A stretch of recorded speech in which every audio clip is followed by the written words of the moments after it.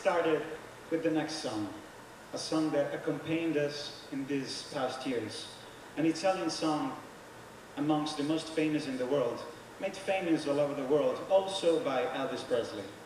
But our favorite version is the one of the three tenors. Ladies and gentlemen, O Sole Mio.